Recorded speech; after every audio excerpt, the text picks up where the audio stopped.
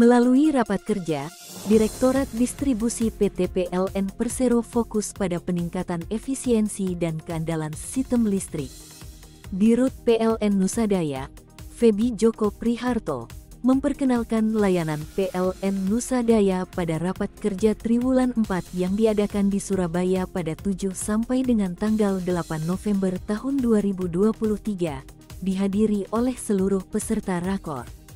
Dalam presentasinya, Dirut memaparkan layanan yang sudah dilaksanakan serta kemungkinan layanan baru yang dapat diberikan sesuai kebutuhan PLN.